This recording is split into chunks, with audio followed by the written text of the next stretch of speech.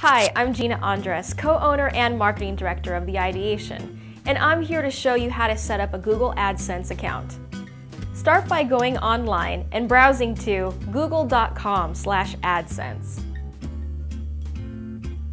Once on the page, click on the Sign Up Now button at the top right of the screen.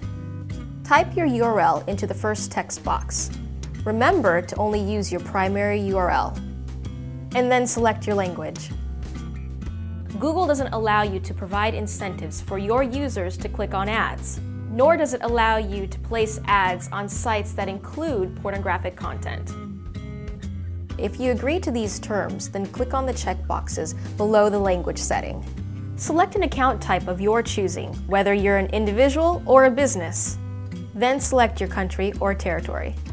Enter your full name that matches your bank account, and remember, you must be at least 18 years of age or older to participate in AdSense. If you meet these requirements, then enter your full address below. If you agree to receive checks payable to the information listed above, then check the box. Enter your phone number and choose an option that best describes how you found out about Google AdSense. Read through the AdSense program policies thoroughly, and if you agree to all of Google's terms and conditions, check all three boxes at the bottom. Hit the Submit Information button at the bottom of the screen.